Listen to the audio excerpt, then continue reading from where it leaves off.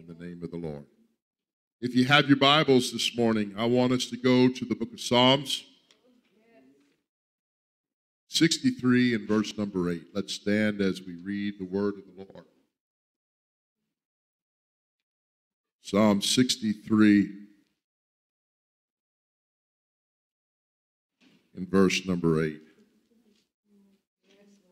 The psalmist cries out to God and he says, My soul followeth hard after thee. My soul followeth hard after thee, thy right hand upholdeth me. That word hard, in case you're wondering what it means, it means to adhere to. It means to be glued. It means to connect. It, it means to be connected. Nothing is going to pull it apart. It means to be stuck to. And so I want to ask you a question this morning. Are you stuck to God? Are you stuck to God?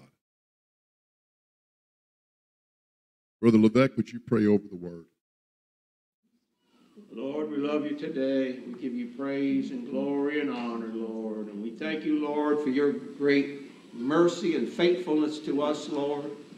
Lord, you're stuck to us, God. Amen. We just want to be stuck to you this morning, Lord. Anoint this word. Speak to us, Lord. Accomplish your purpose in our lives. In Jesus' name. Amen. Everybody say amen. amen. You may be seated. In your walk and in your relationship with God, can you honestly say with passion, I pursue you?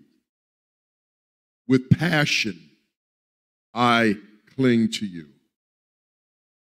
Lord, I am going to stick to you like glue on paper. And the reason why, with passion, the reason why that I cling and I adhere to you and I am glued to you is because I feel your grip upon my life. Your right hand upholds me, and I keep my soul close to your heart. What is our soul? Our soul is an immaterial object. You will not find the soul on a microscope. You will not find the soul on an x ray. You will not find your soul on a CAT scan. But the soul, if I could say it like this, it is the essence of our being. The soul is who we are. This flesh that you look at in the morning, in the afternoon, is not really you. It is just a temple. It is just a veil.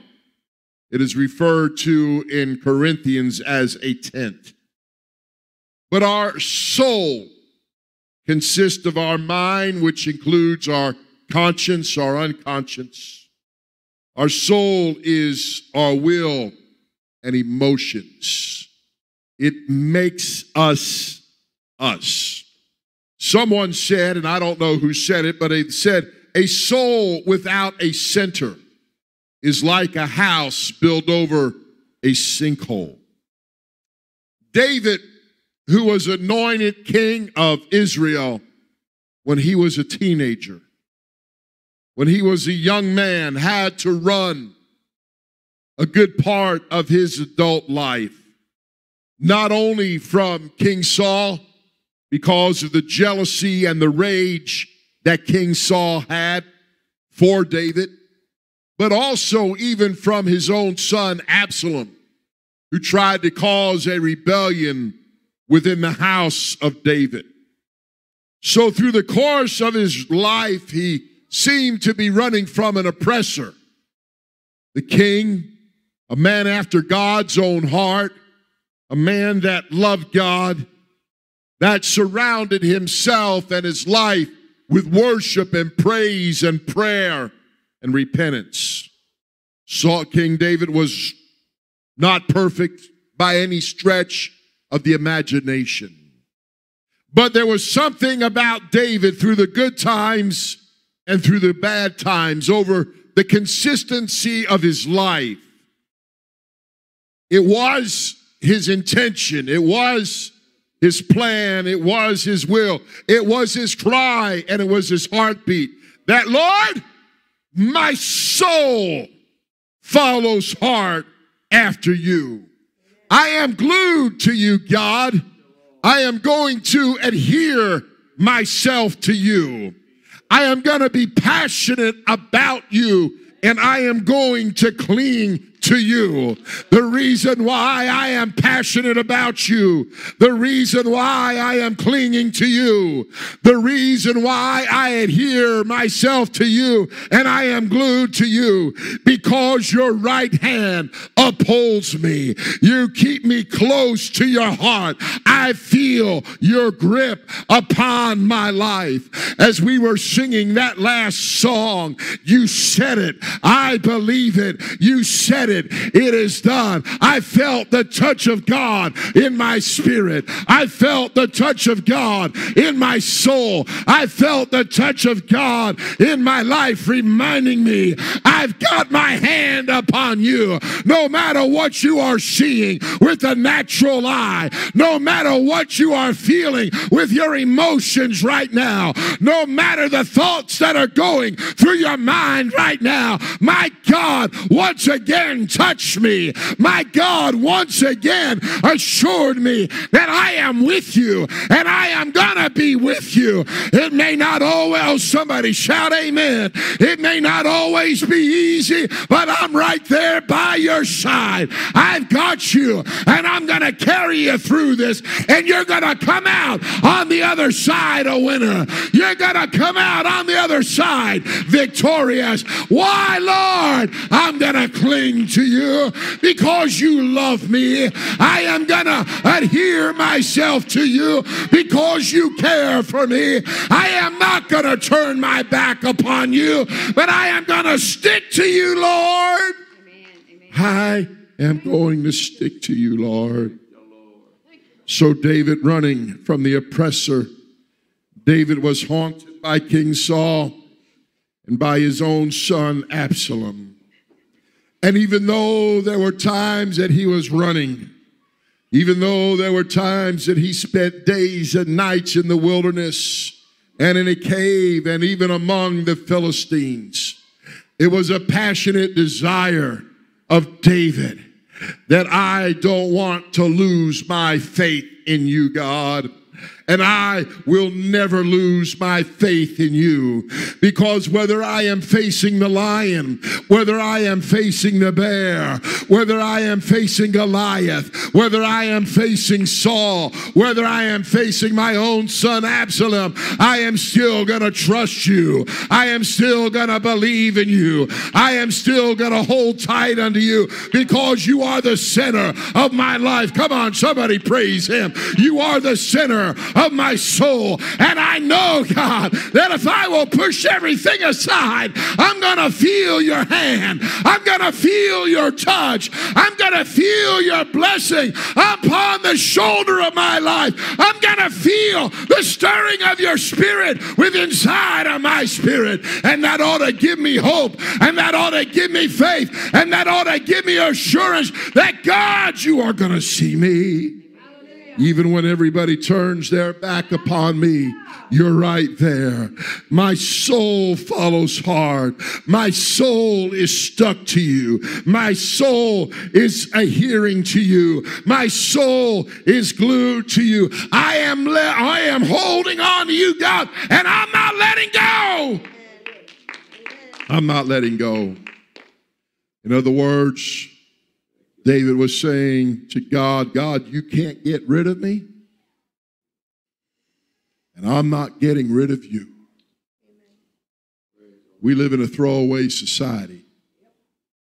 People throw away their children because they're too much to handle. People throw away spouses, throw away boyfriends and girlfriends. People throw away family members because they're so self absorbed with themselves. People throw away friendships. People throw away God. People throw away the foundations upon which they were built upon their life because they are so self absorbed with self. They, they look at their situation and they think that they, they are the only person in the world that's got that situation in their life and they say, What's the use? What's the use of going on? But I'm here to tell you, I serve a God whose name is Jesus. And I don't care what's going on in your life. I don't care how dark the night may be. And I don't say that callously and I don't say that unsympathetically. But I'm just letting you know that my Jesus is going to be there. My Jesus is going to touch you. And if you will cling your soul, if you will cling to Him and not let go. Come on. Are you stuck to God? He's going to see you through because He holds you with His right hand. He holds you with His power and authority. Amen. He holds you close to His heart because He cares for you and loves you. Are you stuck to God today? Are you stuck to God today? Will you follow after him? Take an honest look at your life. Take an honest look at your life and be bold enough to examine yourself and ask yourself is your soul stuck to God that you are going to follow hard after Him? Search Him and long for Him. Search Him and cry out to Him will you see and will you look that God, I'm here and I ain't going anywhere. When we reach out to God and our soul is stuck to Him and our soul is adhered to Him and glued to Him, it is then and only then that we, we can lift up our souls to be nurtured, strengthened, and healed by the glory of God. Amen. If we are adhering to Him, I'm going to say it again.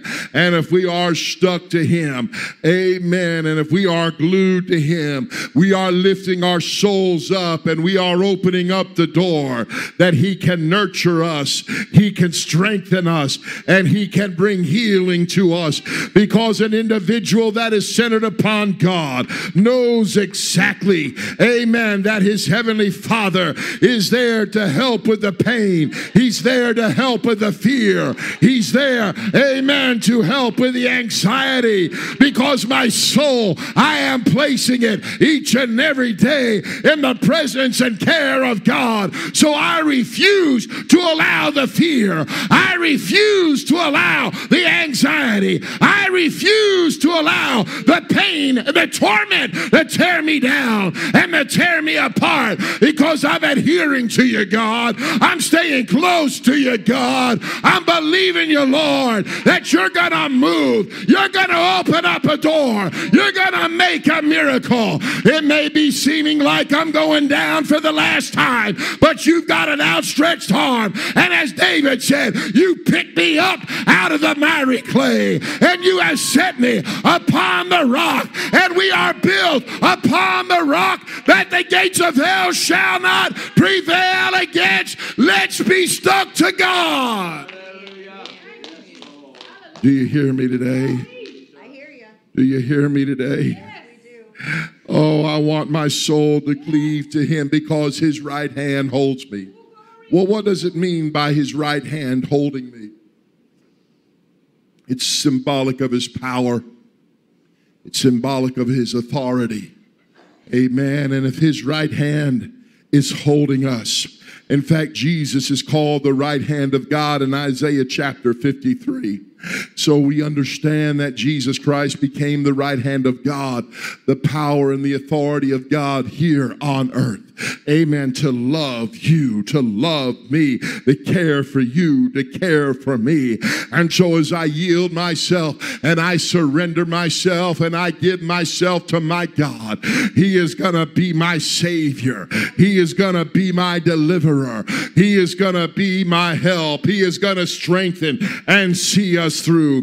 The Bible says in 1 Peter 4 19, Wherefore let them that suffer according to the will of God commit the keeping of their souls to Him. Amen. In well doing as unto a faithful Creator. My God, He is a faithful Creator. And because He is a faithful Creator, I believe that my God can keep my soul in well doing. You may be facing right now having the lights turned off. You may be facing and looking at an empty refrigerator right now. You may be facing your car is on empty. You may be facing a bill that you don't know how you're going to pay, but I'm here to tell you, my God is going to make a way. How is He going to do it? I have no idea, but my God is going to make a way where there seems to be no way because He is a faithful creator. I said, He is a faithful creator. I said, He is a faithful creator,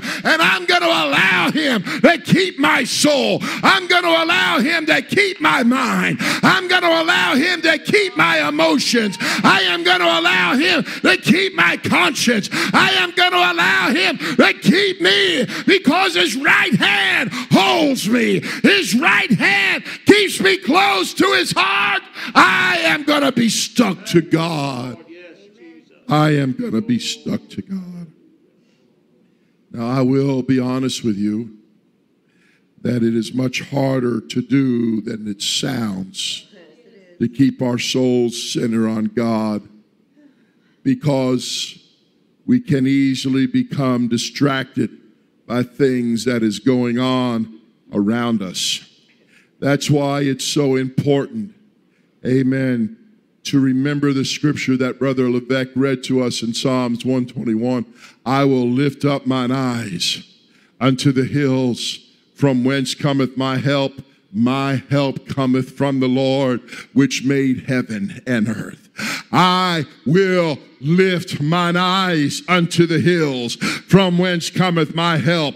My help cometh from the Lord, which made heaven and earth. Get your eyes off of what's going on around you. Get your eyes off the surroundings around you, but begin to lift your eyes. Begin to focus upon Him. Begin to see Him in His glory. Begin to see Him in His power. Begin to see Him in his majesty. Amen. Then you're going to see the angels of God or that force field that he talked about encamped round about you. And you're going to be able to shout and you're going to be able to say, They that be with us are more than they that be with them. Because I serve a mighty God. I serve an awesome God. I serve an all powerful God that is going to see me through because I want to be stuck to God. I want to be glued to God. I want to be adhered to God. That nothing, nothing is going to pull me apart from Him. I don't want to be distracted. And so it's a constant discipline that I've got to add to my life that when I hear a voice to the left or a voice to the right, I keep my eyes upon him. Amen. When I see something trying to spring up in my spiritual peripheral vision, amen, I'm going to keep my eyes upon my Jesus because he is going to see me through. I, I don't know who this man is, but his name is Thomas Kelly. He wrote this We feel honestly the pull of many obligations, trying to fulfill them all. Isn't that true? And we are unhappy, we are uneasy, we are strained, and we are oppressed, and we are fearful that we shall be shallow or we shall fail. But when we have our soul stuck to God. You listen to me today. When we have our soul stuck to God, we have our life adhered to our God. Amen. We are glued to God. Then we are going to be, amen. Well, we are going to be taken care of. We are going to see the power and the glory of God within our soul and within our heart. But if we do not adhere ourselves, if we do not glue ourselves to God, then the ground around us will become a sinkhole. How many knows what a sinkhole is? I remember a couple of years ago you were hearing all the time about sinkholes in Florida swallowing up roads and you would see the pictures of the cars in this gigantic hole. Sinkholes swallowing up holes. Amen. Because the ground underneath them gave way because of the cavity deeper in the earth was no longer filled with whatever it was filled with, most likely water, and the ground collapsed. Amen. Because there was a hole there. Well, let me tell you something. Amen. My Jesus will not allow you to sink into a sinkhole because, as the old Simon and Garfunkel song says, He is a bridge over troubled waters. Hallelujah. We need to walk that bridge. We need to live on that bridge. I'm telling my age a little bit now. Some of you don't even know who Simon and Garfunkel was. Amen. But I'm here to tell you, He is a bridge over troubled waters. Can somebody shout hallelujah? Hallelujah. Oh, because I'm going to be glued to him. My God. Oh, somebody shout amen right now. He is going, we're going to be glued to him. We are going to love him. Are you stuck to God? Are you stuck to God? Are you stuck to God? Because when you're stuck to him, there is nothing. There is nothing that can rip you apart. I, I was planning this morning to do a illustration, but when I found out I couldn't get this thing unstuck, amen, I muted. me and Marcus had to work a, a workaround, and so my mind just went every other way. But I, I was going to do something like this. Here, here, here's the Lord, if you will, just as just as an illustration, and, and here's us. All right, Amen. Now, the the we us is on top of God, but here's a problem: when the wind blows, we're no longer on top of God. When troubles come, we're no longer on top of God because we're just sitting there. But when we're stuck to God, now I'm using my phone, it's not glued, but it's a lot heavier.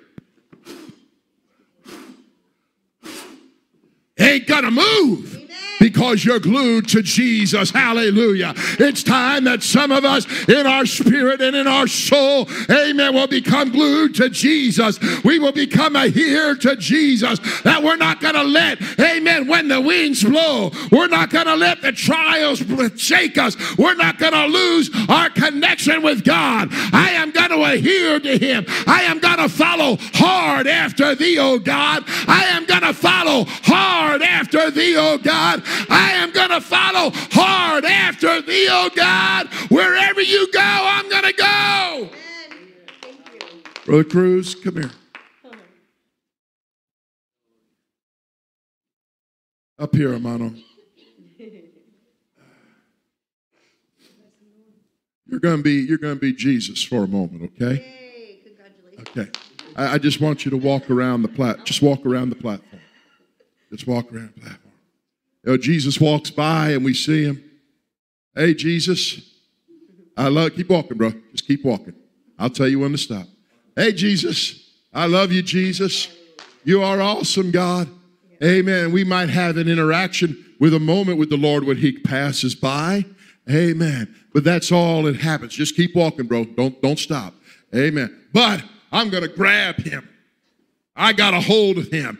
Amen. Keep walking, bro. I'm, I'm, attached to him. Amen. I'm not going to let him go. Amen. I'm going to hold on to my God. Keep walking, bro down there in Jesus' name. Oh, where he goes, I'm going to go. Amen. Where he walks, I'm going to walk. I'm not going to let go of my God. I want to be adhered to him. Thank you, brother. Amen. I want to be stuck to him. I want to have the blessing. I want to have the favor. I want to have the anointing because when I'm stuck to God and when I'm adhered to God, uh, whatever's in Him is going to flow to me. The blessings and the strength and the anointing that He has within Him, it's going to flow to me. It's going to touch my heart. It's going to touch my soul. It's going to touch my life. I don't want there to be a sinkhole under my life. I don't want the ground under me to be eroded, but I want to have a good foundation. Amen. So to keep our soul from being eroded, we need to stay stay centered upon the Lord. We need to stay centered upon the Lord. His word, his ways is the essence of our life. You know, I, I, I read I read this first verse so often, verse number one and verse number two so often. I'm going to read it again. Oh God, thou art my God. Psalm 63, verses 1, 2, and 3. Oh God, you are my God. He is not just a God, He is not just the God, but He is my God. I'm stuck to Him. Early will I seek thee. My soul thirsteth for thee. My flesh longeth for thee in a dry and thirsty land where no water is. When somebody, amen, is hungry and they are hungry beyond hungry and they are thirsty beyond thirsty, amen, they will do anything within their power, whether it's good, whether it's lawful or not, amen, to quench that hunger and to quench that thirst. And so we must also have that same passion that as I hunger for God, as I thirst for God, I am going to do what is necessary to quench that thirst. Lord, I'm thirsty for thee, so I am going to seek thee. I'm telling you how thirsty I am for you, Lord. I'm out here in the middle of the wilderness. I'm out here in the middle of the desert, and there is no water. There is no precipitation. There is no moisture from anything around me. So, God, I'm crying for you. I'm longing for you. Verse number two, as I seek you, God, I want to see your power. I want to see your glory as I have seen you in the sanctuary. I remember the time I've been at church praising you. I remember the time that I've been at church dancing with you. I remember the time that I was running a victory lap in Jesus' name. And now, God, I need it now. Oh, God, I need that touch now. Oh, God, I need that anointing now. As I have seen you, Lord, I need you today. I want to be glued to you. I want to be adhered to you. I need you. Verse number three, the Bible says, because, why? Even though I'm dry, even though I'm thirsty, even though there is no moisture right now, I'm going to continue on. And I, I am not going to allow an illusion. I am not going to allow what I think I see that is not really there to distract me. What is it called? A mirage. I am not going to allow a mirage to destroy me. They say that many a person died in the deserts out west in the early days of our country because when they were walking and they were without water on the horizon with the heat shimmering it began to look like a, a pool of water and because they were so thirsty they became delirious that when they saw that pool of water they they would dive right in and they would begin to drink it, but in actuality, they dove in sand and were eating sand. I, I if I can, I want to be delirious for Jesus because he's not going to be a mirage. Come on, you hear what I'm saying? He's not going to be a mirage because his right hand upholds me. His right hand keeps me and he keeps me close to his heart because your loving kindness is better than life. Your loving kindness is better than that steak potato. Your loving kindness is better than that piece of fried chicken and glass of iced tea. Your loving kindness is better than a Krispy Kreme or an ice cream. I'm here to tell you, your loving kindness is better than anything that I can achieve and obtain here in this life. And because of that, even though I'm thirsty, even though I'm dry, my lips are going to praise thee. My voice is going to praise thee because I follow hard after thee, God. I follow hard after thee. I'm not going to let go. I'm not going to turn around, but I am going to love you and praise you in the midst of the storm. David was a man absent from the sanctuary for a lot of his life. And it wasn't by choice. But he cries out, God, you are my God. I am running for my life, but you are my life. And things aren't going well, but I'm still running for my life because you are my God. I follow, my soul follows hard after thee, O God. I am stuck to you. I am adhered to you. I am glued to you. Even though it's physically dry where I am at, you are my thirst quencher because I am stuck to you. Are you at a place in your life and in your walk with God that you can renounce once and for all whatever does not lead to God, I am going to leave it alone. Whatever does not lead to God, I am going to leave it alone. You want a simple way to guard your heart? You want a simple way to guard your soul? Ask yourself this question Will this situation that I'm about to endeavor in block my soul's connection to God? And if it is, and if it does, you better walk away from it, no matter how good it looks.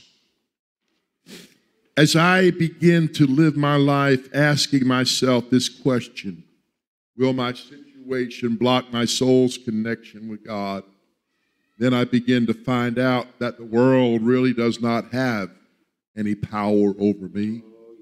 The world does not have any authority over me. So, what if I don't get that promotion? So, what if my boss doesn't like me? I don't really have to worry about this next thing. So, what if I have a bad hair day? so, what if I have financial problems? Sometimes that's life. But through it all, God is there. God is there. And these things, and well as other things, can and will cause disappointment. But do they have any power over your soul? I say no when you follow hard after God. Because the word of the Lord says, I have never seen the righteous forsaken nor his seed a begging from bread. Can these things that I mention nudge my soul from the center of the heartbeat of God? No, unless I give in and I yield to them. When you think about it that way, you begin to realize the external circumstances cannot keep you from being with God when you recognize that they have no power over your soul because your soul followeth hard after God. Your soul is stuck to God. Your heart, your soul is adhered and glued to God.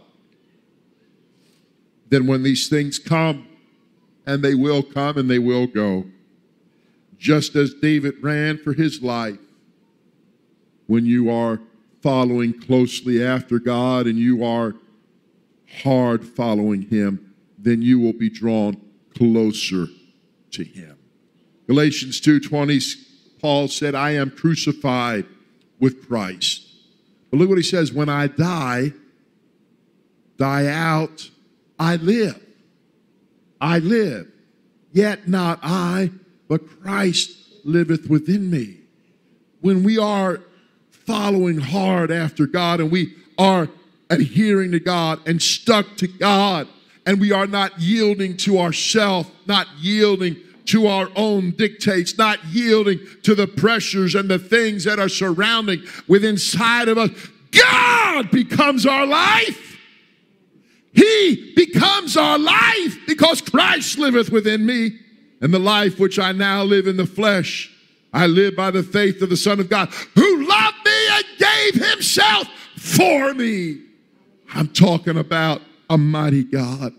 Amen. Paul understood the correct concept of crucifixion because when you are crucified with Christ, you truly live because your flesh, if you will, is nailed to the cross. We're not talking about this body, but we're talking about our will. We're talking about our emotions. We're talking about everything that makes us us. It's nailed to the cross. And when you're nailed to the cross, you can't get down.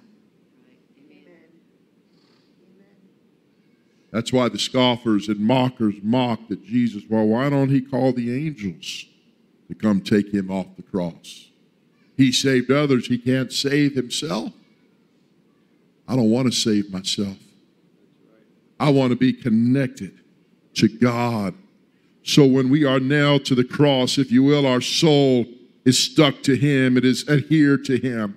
Amen. And when we die out and we're stuck to the cross, amen, there's a there's going to be a masterpiece of glory and power that will be made manifest in your life because he then can do the work that he truly wants to do with you and for you. Whenever you think it's all about yourself, you're standing in the way of God working in your life. When I think it's all about myself, I'm standing in the way of God working in my life. But God wants to walk in your world. He wants to walk in your world with a sparkle in his eye and a smile on his face to give you this word Psalms 46 and 10. Be still and know that I am God. Be still and know that I am God. I will be exalted among the heathen. I will be exalted in the earth. It's time to quit warring with God. It's time to quit fighting with God. It's time to surrender to Him and be still within your spirit and be still within your soul to know, to know that is to experience Him, that is to flow with Him, that is He flowing with inside of you, that He is God. I want to follow hard after Him. So be still for a bit because when we are still, He can work wonders in our life. You said it. I believe it. You said it. It is done. You said it. I believe it. You said it. It is done. You said it. I believe it. You said it. It is done. Why? Because I'm stuck to Him and I cannot think of anything else and I cannot say anything else because God is my Savior. God is my deliverer. God is my waymaker. I am following hard after Him. I am going to, come on, church. I am going to be stuck to Him. I am going to worship Him. I am going to love Him. I am going to adore Him. And my God is going to make a way where there seems to be no way. Trust Him. Cling to Him like glue to give you hope. Allow yourself to become from insecure with God to being secure with God. From being regret riddled to a person that I no longer have regret because I am stuck to Him. From a person that has fear to an attitude, Lord, I'm ready to fly in you. You know, it's so easy to feel like that when you're in the mess that you're in and you're faced with the garbage that's surrounding you, the anger and the hurt, the job loss, the financial fear, the church split, the broken heart, the broken home, the suffering, can never be touched by Jesus because I've stepped one step too far. But when you begin to say, You said it, I believe it, you said it, it is done, you said it, I believe it, you said it, it is done you begin to feel something within your soul. You begin to feel a kingship with the King of Kings and the Lord of Lords. You begin to feel an anointing flowing from heaven to earth. Oh, somebody say amen. Because you have become stuck to God. You are adhered to Him and you are glued to Him, and nothing, and nothing, and nothing is going to pull you apart. Nothing is going to separate you because I love you, Lord. I love you, Lord. I love you, Lord. I love you, Lord. I am not going to let go of you. I am not going to turn my back upon you. I am not going to surrender to anything but besides you because your right hand upholds me. Your right hand upholds me in Psalm 63 8, our scripture reading. My soul followeth hard after thee, God. My soul followeth hard after thee, and your right hand upholds me. I am passionate. I am passionate. I am passionate. Too many times we are like this story.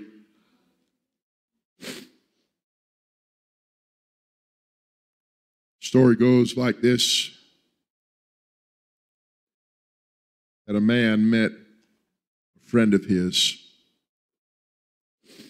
and the friend of his dropped the bottle, and the bottle broke. A lot of pieces. So his friend gathered up the pieces of the broken bottle glass and he held that broken glass close to his stomach. And every time he moved, what happened? He got cut. Every time he moved, every time he turned, he got cut more and more and more and more. This is what happens to an individual that has troubles and cares, and, and they hold them tight to their heart because they won't let them go. They get hurt more and more and more and more. But when you're stuck to Jesus, when you adhere yourself to Jesus, you are not affected by what's going on around you, and you are not allowing yourself to be cut up.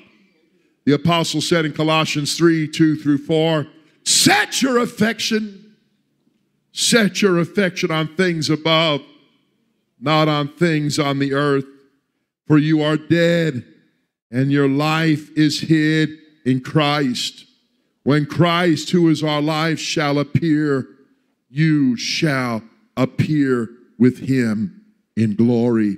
Set your affection on things above, not on the things of the earth. For verse 3 says, You are dead and your life is hid in Christ. As far as the world is concerned, you have died, and your new life, your real life, is hidden in Him. And when we are hidden in Him, he is going to take care of us. He is going to see us through. He is going to make a way. How is your life? Are your, is your soul following hard after God? Are you stuck to Him that you are not going to let go? Habakkuk chapter 3, 16 through 19. Habakkuk chapter 3, verses 16 through 19. When I heard, my belly trembled, fear. My lips quivered at the voice, and rottenness entered into my bones. And I trembled within myself that I may, might rest in the day of trouble. When he cometh up to the people, he will invade them with his troops. Although the fig tree shall not blossom, neither shall fruit be in the vines, the labor of the olive shall fail, and there there shall be no herd in the stalls. What does that mean? Ain't no money in the bank. Ain't no groceries in the cabinet. The credit cards are maxed out. The gas tank is on empty. All hope is gone. There is nothing physically tangible around you that can help you. He said in verse number 18, he said, Yet, yet I will rejoice. He makes that determination, he makes that commitment. It's not going well right now. Everything that can happen is happening. I see no way out of this situation. Yet I will rejoice. Yet I will rejoice.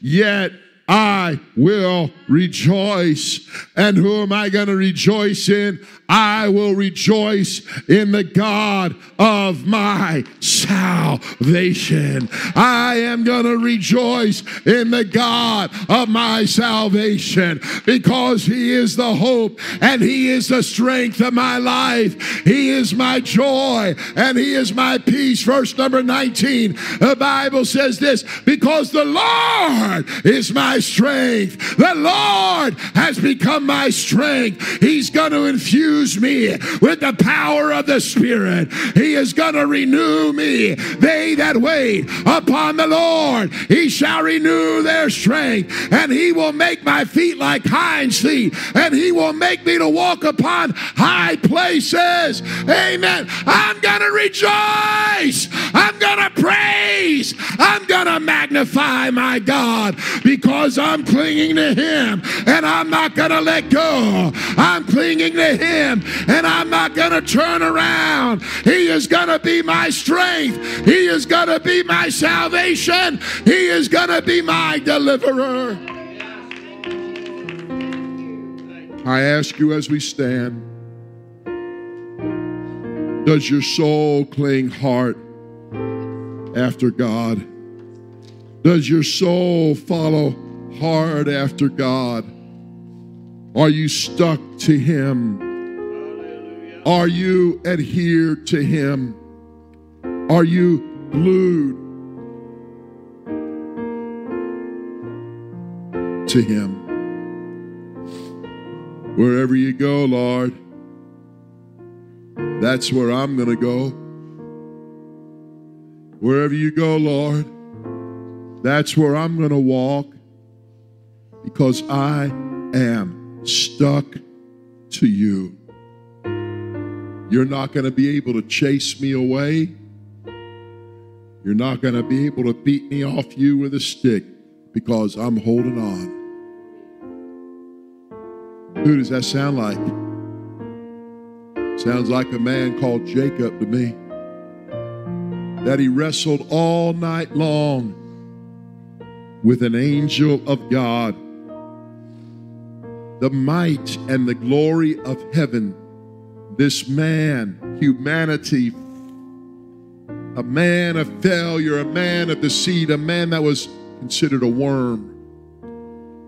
He wrestled all night with this angel, and the Bible says the angel prevailed not against him.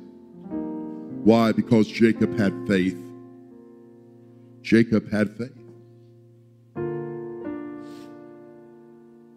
And the Bible tells us that the angel touched the hollow of Jacob's thigh. I'm sure when his thigh popped out of joint, he probably did this number right here. I watched my wife a few times over the last several weeks after her last fall.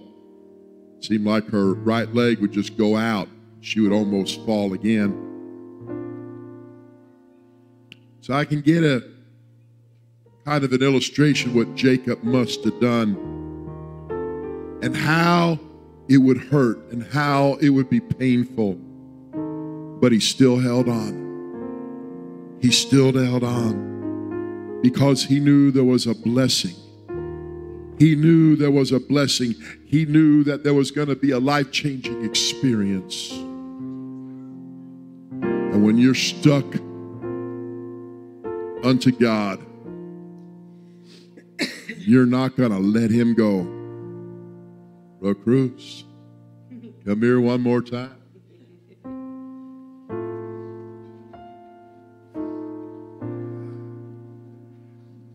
You're Jesus again. Start walking. All right? Not only am I going to be stuck to him, I'll let this angel go. Come on, walk, Jesus. I'm gonna, I'm gonna go. Of course, it's really a little bit too hard for him because he's falling tonight. But I'm not gonna let go, God.